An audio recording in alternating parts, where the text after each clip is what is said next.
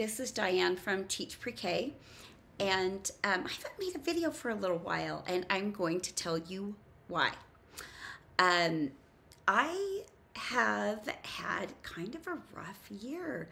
I've had a rough group of kids in my pre-K. My morning preschool class is amazing, but I've been teaching for 13 years and I've just never experienced anything quite like the 16 kids that I have in my pre-K this year.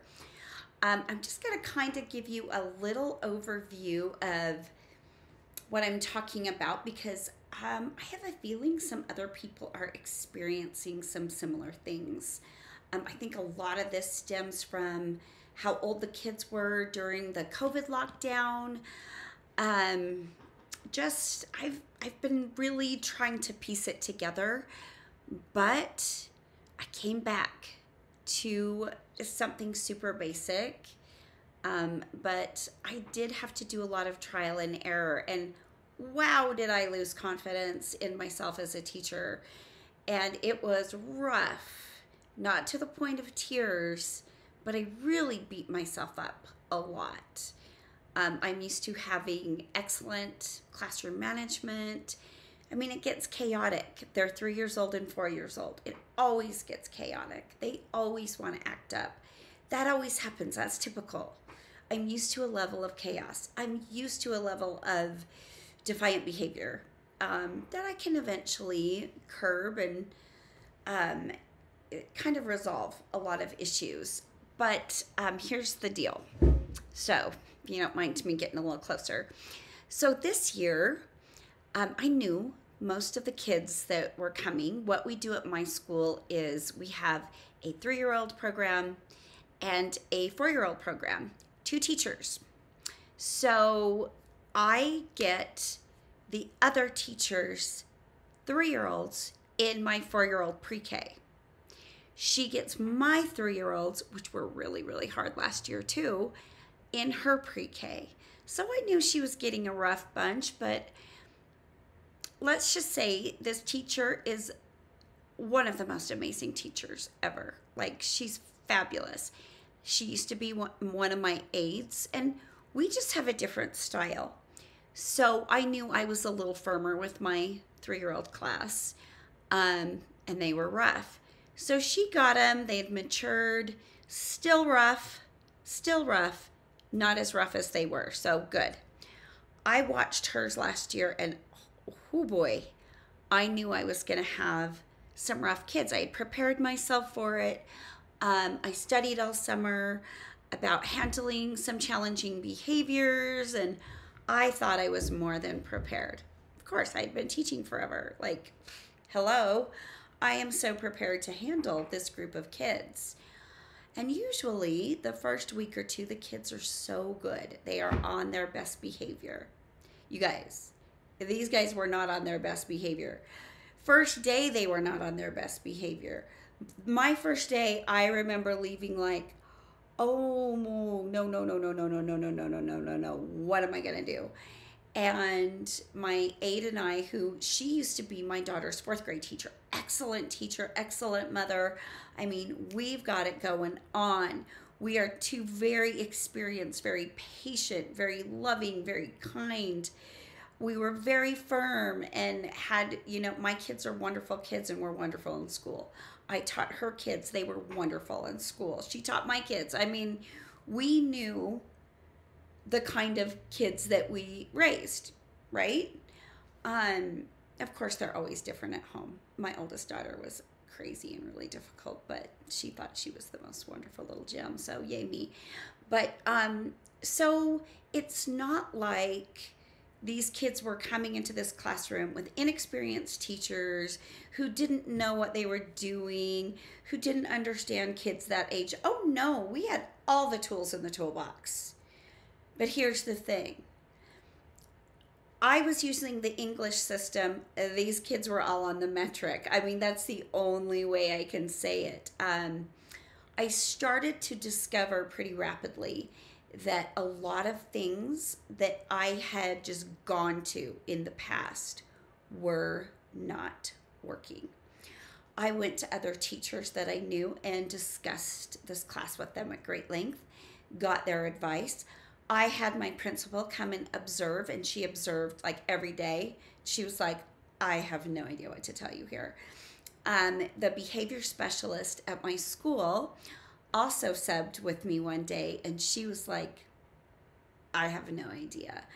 Um, so, the definition of crazy is you keep doing what you've been doing, expecting a different result, right? So I thought, okay, I've got to reinvent the wheel here. I obviously am missing some things. I've got these extremely defiant kids. I've got kids doing things on my rug during circle time that I did in my sophomore year of high school. Um, so their misbehavior was off the charts very sophisticated. This is a highly intelligent group of kids, and they work in tandem to throw the, the teachers off.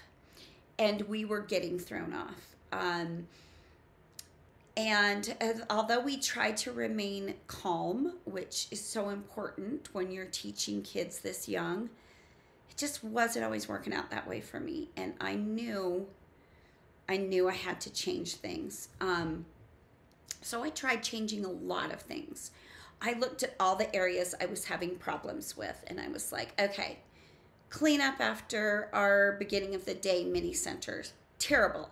So I assigned them each a table, put their little faces. So 16 kids, we had four areas four kids were responsible for cleaning up those areas. They actually did really well at that. And that is something I think that I will do later.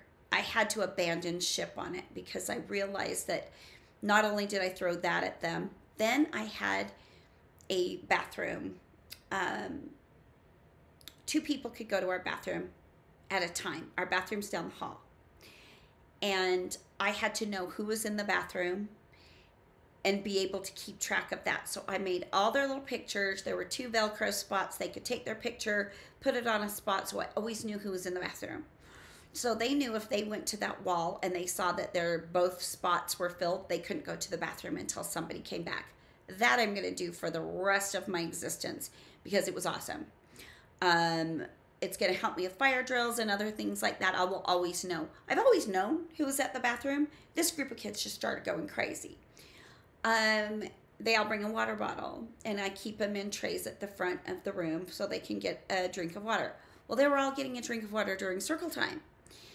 And I had said no water during circle time. I'm so thirsty. I'm so thirsty. I'm dying. Ah. Oh my God. And then all of circle time would be kids whining about water. So then I started hiding the water during circle time. Just put it in a closet.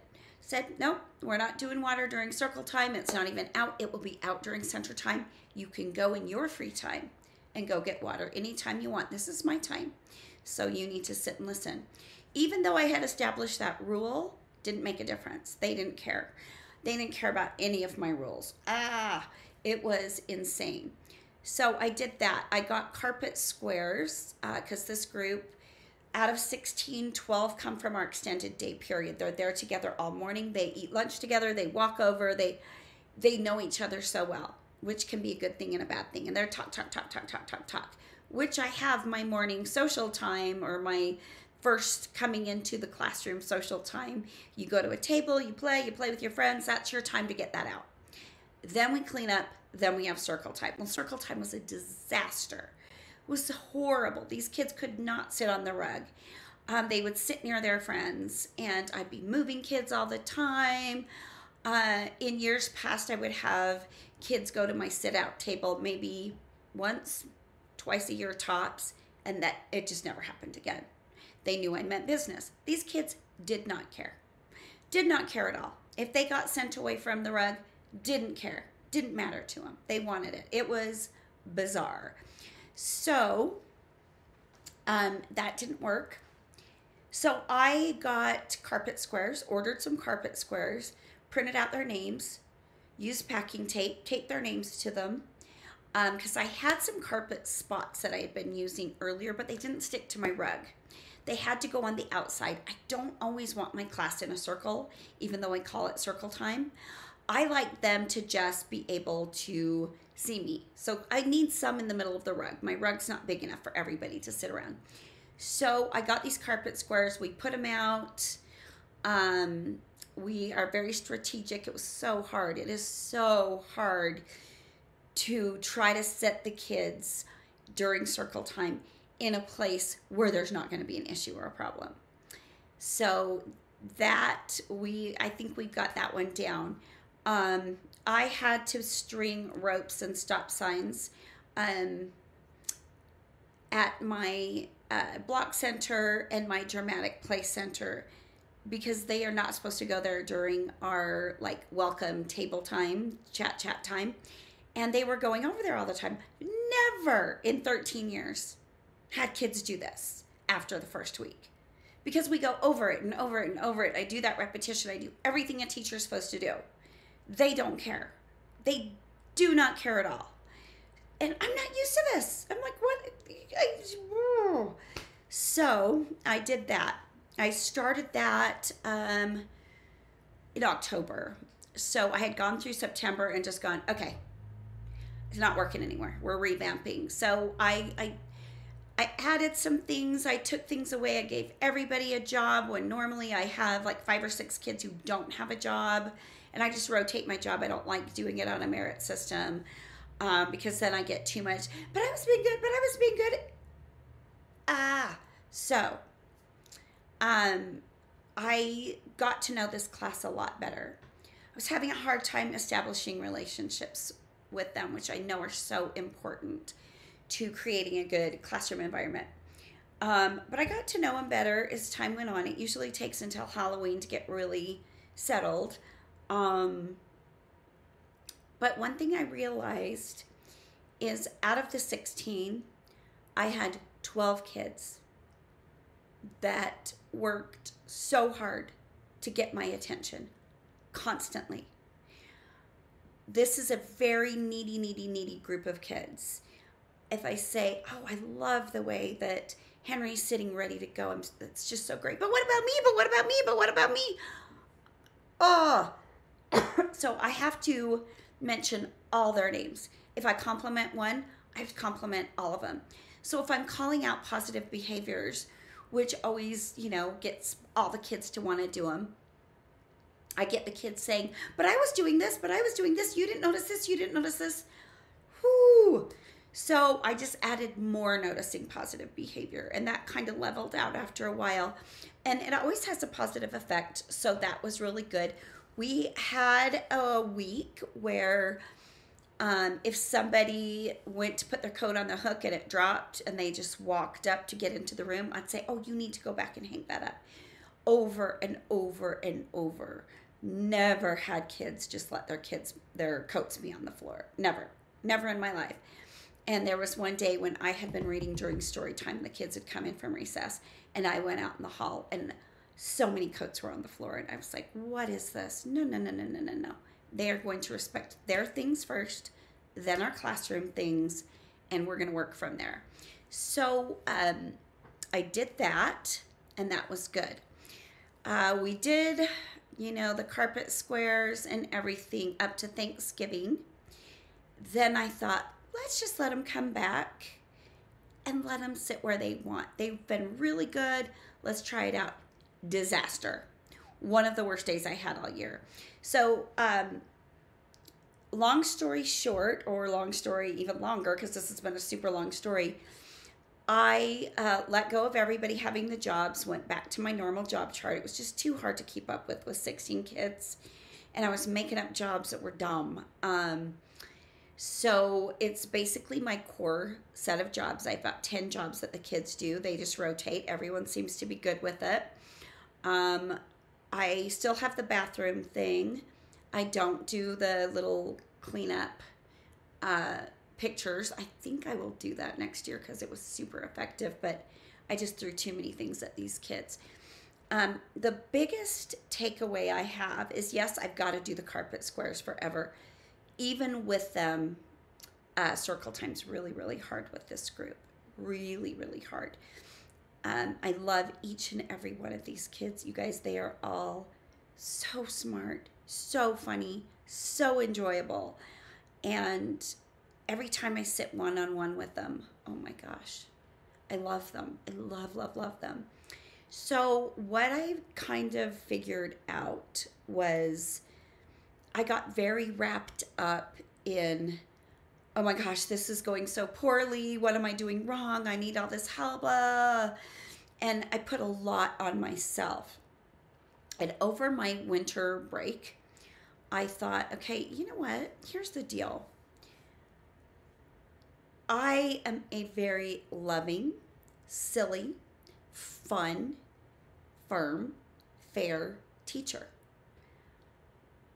I am going to go back to school and I am going to be so loving, so silly, so fun, so patient, so kind, so firm, and so fair. And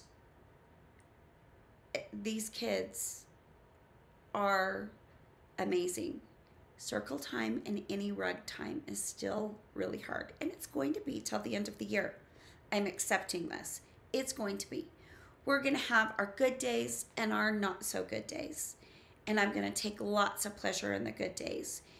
And the not so good days, I'm going to just go, you know, let's try again tomorrow. But the most important thing was yes, I needed to reset the way I dealt with these kids. I've never had assigned seating on my rug. Never. Never had to. Um, so that was a new thing. I had to think outside the box. I had to think, what am I going to do differently? Because what I've been doing isn't working. I've got to switch things up.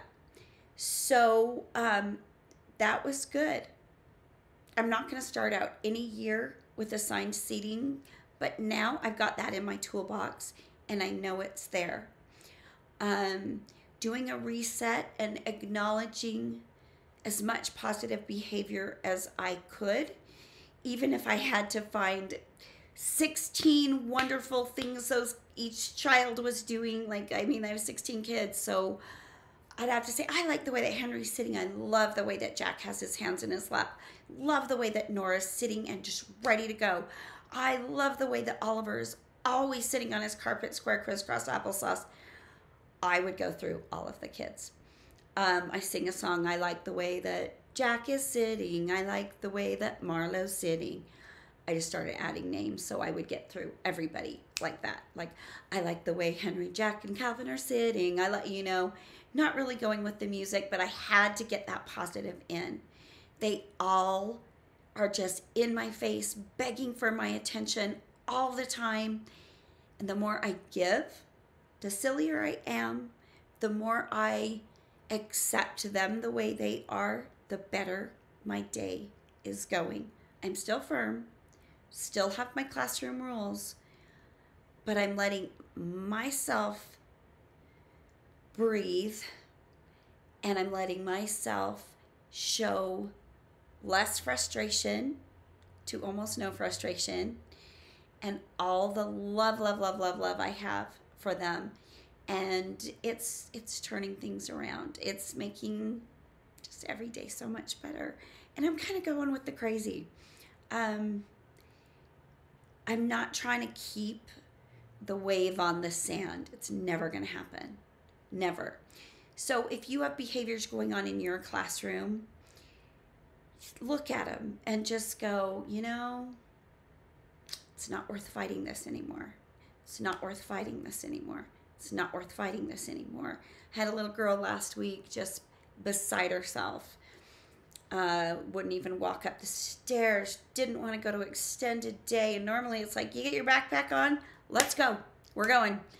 And, you know, we suck it up, buttercup, and we go. And usually, you know, they snap out of it. I can cajole them a little bit, be silly with them, kind of play with them getting up the stairs. She was having none that day. So finally, I picked her up.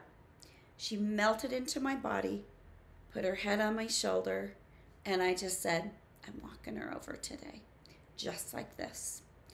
Not going to fight it. Not going to exert my energy trying to make a three year old girl who's obviously exhausted from being in school after vacation, misses her mommy, misses her toys, misses being at her house. Just not not going to make her walk up those stairs. So by me letting go of a little of my need to have things go a certain way and showing the kids more love, more patience, more kindness, more understanding, it has made my life so much better, so much easier. So look at your situation and see how can I be more loving in this situation? What does this child really, really need from me? How can I reset this entire behavior system with a few tweaks, willing to chuck the ones aren't, that aren't working and go with the ones that are working and throw more love in there, more kindness, more positivity. See what blooms out of that. Um, bring your parents on board. I had extra difficulty with a couple of kids, brought their parents on board, totally turning the thing around too. A little help from the parents at home, that's a good thing too. So, uh, for all you new teachers out there, um, even a veteran teacher who you know, I don't have it all figured out. No one has it all figured out.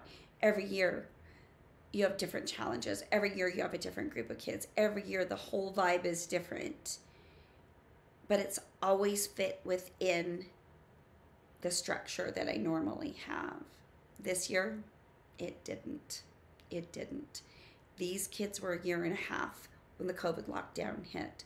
Most of the parents work. So I'm sure they were working from home or trying to just get through the day if they were an essential worker and not infect their families with this weird virus we didn't know anything about. They got put in front of screens, got a lot of toys ordered from Amazon to keep them from being bored. Um, didn't get maybe as much adult attention as they wanted or got too much, so now they don't understand why they don't have it all the time. But um, if you have kids that are about four, four turning five right now, three and a half to that five, really look hard at their behavior and their needs. And if you want to get back to being the fun, loving, awesome teacher, throw the positivity at them, throw that attention at them, and just look at what you're doing. Turn some things on their head, and, and you've got this. I know you've got this. Um, leave some comments uh, if you have any hints for me. If you've had a super difficult class um, that was really needy and really in your face and just needed so much of your attention and energy all the time, let me know. Um, I'm with these kids another five months, um, five and a half months, yeah. And um, they're going to always be a challenge for the rest of this year but I do love them and I am enjoying them and I'm enjoying myself for the first time this year. So thanks for listening. Um, since I'm feeling better about stuff, I'm going to get back on at least uh, one video a week um, going forward. I've got to do um, some math center differentiation and go over again how I uh, teach letters um, add a few things in there. I think you might really like a few things that I have coming up. So keep watching and thank you for always being so supportive.